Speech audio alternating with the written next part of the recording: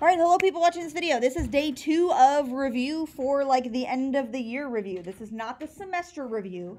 That packet, we will do that like three days before semester test. But this is just end of the year review. This is like going over stuff that we've done already up until this point. Uh, just stuff that I want to make sure you know 100% before you go to geometry. Okay, so this is day two.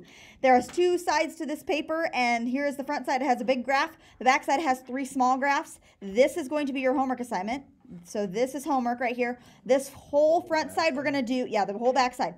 So 1 through 12 on the back, that's your homework. But we're going to do 1 through 6 together. This is like this is like the notes side, right? And then this is like the homework side if you need to like have that written out, okay? So we're going to do the notes together, which is the front side of this paper, um, and then you'll turn that whole thing in tomorrow.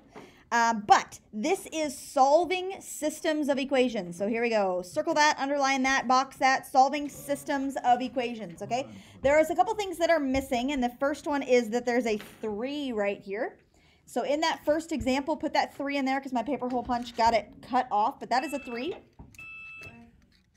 And when you're solving systems of equations, like let's look at this first thing right here. Like this equation right there. If I were to graph it, what would it look like? What would that thing be if I graph it? Like if like if I graph it over here, what would that look like? 4x minus 3y equals 0. Uh, uh, yeah, it's a straight line. It's a linear function. We just got done doing those yesterday. Linear functions, right? It's got an x and a y. We would solve for y and we would graph it, right? Same thing with this one. We would have another line, okay? And when we're solving two lines, what are we trying to look for? Their intersection, where they cross, okay? So the first problem here doesn't really have um, instructions to it, but what we're doing is we're interested to see, is this the solution? Solution, question mark? I don't know. How can we figure out whether that is the solution or where these two lines cross each other? You plug them in. Yeah, let's plug them in. To which one? The top. Just do the top. Can we get away with just doing the top one? Mm, Sometimes no. No. Okay, let's do the top one. Let's see. Okay. S- Four, and we're going to Wait, plug can't you make six it in for separate? x. What? Like, can't you cancel out one of the equations or something like that? I don't know. I don't know. I don't know. Let's just plug in. We'll plug 6 in for x, negative 2 in for y for that top one. Okay, so plugging 6 in, negative 2, this is 24 plus 6. Is that equal to 30? Yes. Yeah, that checks out. So does this bottom one have to check out? Do we have to check that one also? You have to check it. We do have to check that one. Okay, so let's see if this one works. So 3 times x, which is 6, plus 2 times y, which is negative 2, equals 22. Let's see if that checks out. So This is 18. Minus four. Minus equals 22. 14 equals 22? Nah. So just because the first one works doesn't mean the second one's going to work, right? The no. So the answer was no. Uh, 6 comma negative 2 is not a solution, right? But that's how you check by plugging it in. Okay? We're going to go in in the next examples, we're going to use three different methods of solving for the solution, finding where that place is where they cross, okay? The first one is the one that I don't like very much, and it is graphing, which is kind of a pain in the butt, okay? So we're going to graph number two, solve the system of linear equations by graphing. Again, wh- what are we trying to find? What's What are we solving for? Solution. The intersection, right? Where they meet, okay? Okay, where they intersect. So I need to graph this top equation. Can I graph him the way he is right now? No. No, we've got to solve him for y, right? Okay, so we're going to move first. Uh, Subtract, add add three. the three. Add the 3 over. Sure, let's add 3. So we have 3y equals. How do you want to write the right side? Or six x minus Negative negative six x 6x minus three. plus Negative 6x plus 3, right? Let's put the x first, Negative okay? 2x plus Then- divide them by three. Divide by 3, right? Riley's done that, so he says y equals negative 2x plus 1, okay? Oh yeah. That's I'm going to circle that one. We're going to graph him here in a second. Can we uh, get the second one ready to go first? Sure. Let's get number 2 ready to go. So what would you like to move there? We're solving for y, right? Plus two uh, y. minus y. You want to you want to add the 2y to the other side? Minus 2x. Or you want to minus the 2x? Plus two y Minus minus two plus x. fourteen over. You want to add. the You can do it that way. Let's go ahead at the general consensus. Let's say subtract 2x. Minus 2x. So negative 2y equals, how do you want to write the right side? Negative two x minus. No, 14. pop. Could you do? 2x you minus add 14. Okay, then we're going to divide by negative 2. This is better. x It plus makes everything even. So y equals, I'm gonna write this in a different color. Y equals X, Positive x plus 7, right? The two negatives make a positive like that, right? That's what he is, okay? So there is that. All right, we have those two equations. I'm going to go back to the top one. The negative 2x plus 1, where do we start graphing him? at positive one, At positive 1, and from there we go. Down down over over. Now, which way do you go 1? Right. To the right, because we want it to go downhill, right? Down 2 over 1, down 2 over 1, etc., like this, right? Uh, Up two over one. or up to Left. to the left one. Yep, we could do that also. That's fine too. Okay, so there's my first e first function. Okay, the next one is x plus seven. So we want to start at seven. Seven. two, four, six, seven right here, and then from there we go up one over one, up one over one, or down one, left one, down one, left one. Aha! Woohoo! He's gonna cross in a good spot.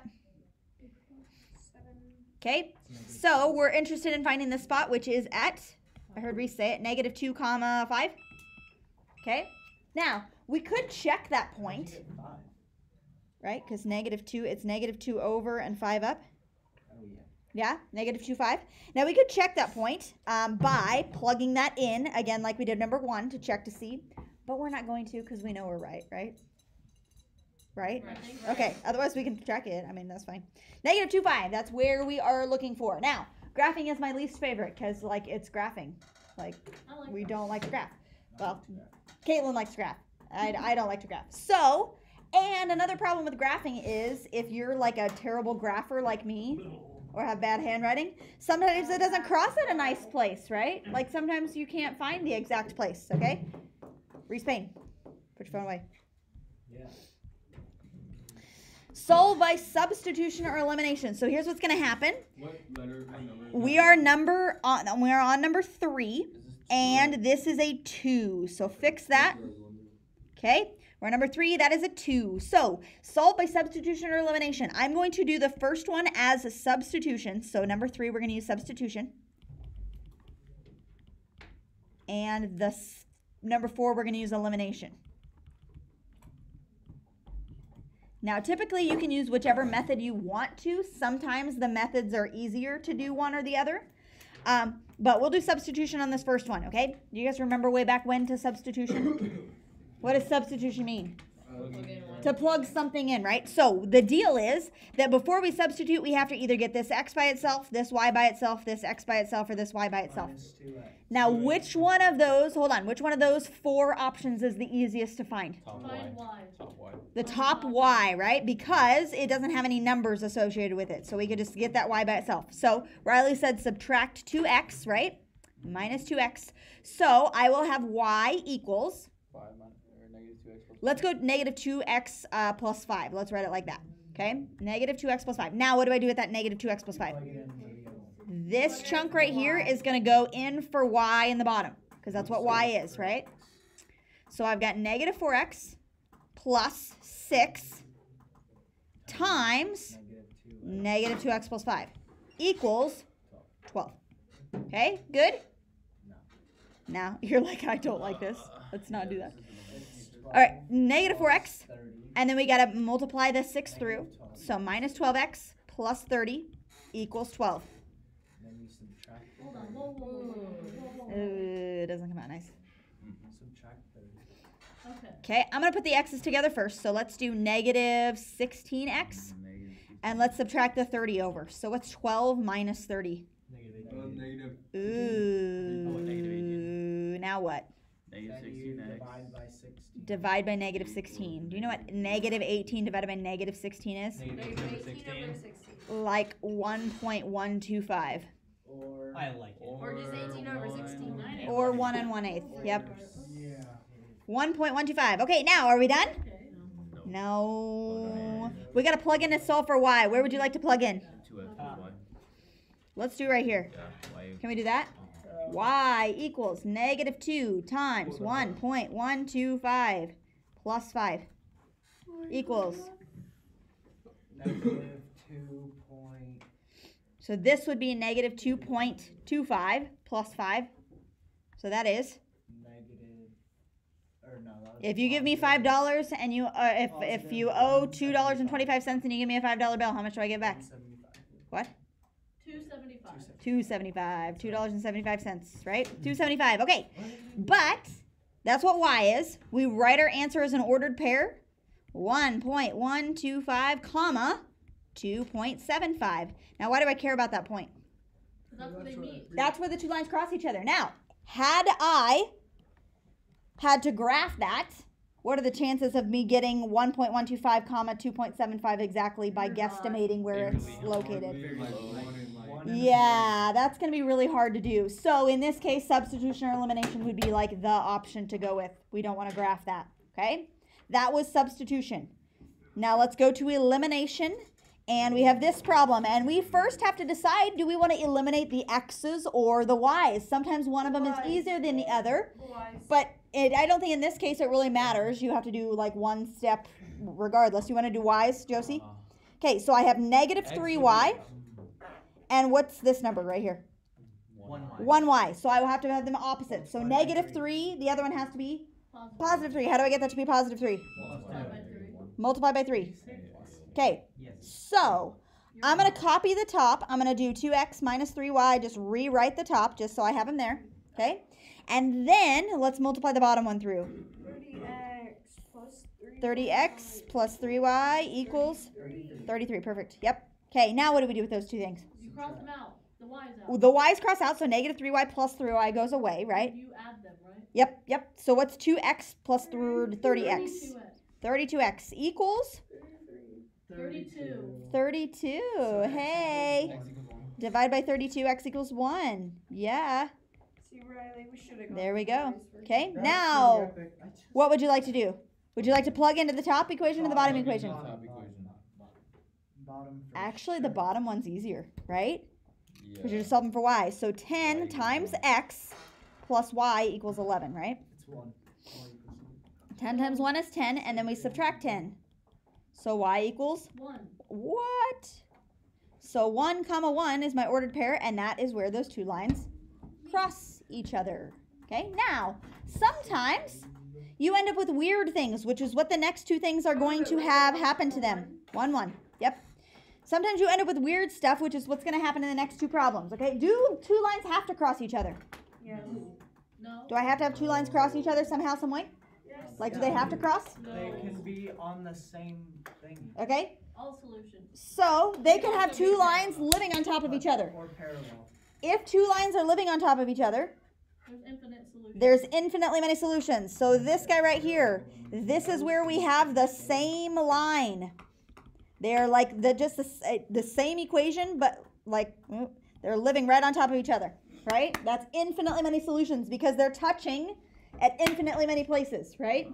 Okay. Now, what else could happen? Uh, What happens when there's no solutions? Like no place where they cross. Yeah, they're the two lines are going to be parallel. So they look like this. Two lines are parallel. They're not going to touch. We would have no places where they touch, so no solutions. Okay? Now we're going to we're going to look at what happens when we solve this and how you know by doing without graphing which one is which, right? So let's go to number 5 and let's solve that. Would you rather do substitution or elimination to this problem? I always like elimination better, but look at the way it's set up. We already have. We already have y solved for. It's 17 minus x. So let's lump him in down there. Yeah? Okay, so You were wrong. 3x plus 3. Can we switch it around to make it negative x plus 17? You can. You can if you want. I'm sure. Sure. So negative x plus 17 goes in that spot. Sure, that's fine. Equals 51. Okay, so she, yeah. Uh, Caitlin just wanted to switch and make that negative x plus 17. That's fine. Um, all right, now we've got 3x. This is okay. And then let's multiply that through. So we have Negative 3x. negative 3x Three, plus 17, 51. 51 equals 51. Okay, now what would you like to do? Subtract 51. Okay, I'm gonna put the x's together, right? What's 3x minus 3x? Zero. Cancels out. So I have 51 equals 51, right? Or if you want to subtract the 51, what does that make? Zero. equals Zero. 0. When does 0 equal 0? All the time. All the time. 0 is always equal to 0. So there is infinitely many solutions. You can write it as infinitely many solutions or infinitely many solutions. Sometimes people write it as all real numbers. That means I can plug anything I want to in for x and it will work because those are literally the same equation. Okay? What does this look like? Parallel. Just like this, They're not parallel. on top of. They're each other. the same line on top of each other. Oh, I thought we were talking about the other one. The same line on top of each other. It's just one line on top of the other one. They're touching in infinitely many places. Okay? But you will end up with something like 0 equals 0, which is always true, right? Or 51 equals 51, which is always true, right? Okay? All right, let's go to the other one. Take the bottom times negative. You want to do elimination with this one, Josie says. Okay, so she wants to take the bottom one times a negative 1. All right, I'm going to rewrite the top. 3x plus y equals 4. And the bottom one. five. Okay, hold on. be negative So negative 1 times 3x is negative 3x. minus minus y equals positive 1. Okay, now we add. So 3x and negative 3x goes away. y and negative y goes away. So what's over here on this left side? Zero. 0 equals four, Five. five. When does 0 equal 5? Never. Never. So No. No. no solutions. Oop. You know, I'm You can write no solutions or you can do circle with a line through it. What does that mean? They're not touching at any places, which means the lines are No. parallel. That means they're not touching. They are parallel to. Ooh, that's a really bad line. Parallel, parallel. There we go. Okay, good. So that's what it looks like when you're doing substitution elimination to know whether it's parallel or the same line, right? Okay. Now, what happens if it's perpendicular? The sixth period class That asked me means this. There's a right angle. That means there's a right angle, but what, what which one of these will that be? Neither of those. It'll just be a normal. It'll just be one solution. It'll be like one of these up here, right? You'll just get an answer, So right? said it'd be regular. So it'll just be a regular like dot where they cross. Yeah, it makes a 90 degree angle where they cross, but it'll just be a you know one one specific place. Okay. All right. So it tells you on each one of these which method to use, whether you're graphing, substitution, elimination, all that good stuff. Work on those for the remaining of the period. You have lots of time. Use your time to work. Yes, you can go. Come out good. What? No, you're not. Like number one does not. I know number one. So if it doesn't come out nicely, just guesstimate where it's at. And I'm not gonna judge you on whether you're exactly correct because you're just using graphing to try to do it. Should I take geometry honors? How much time do we have left? Uh, probably you can. Will they let you? All right. Bye, people in the video.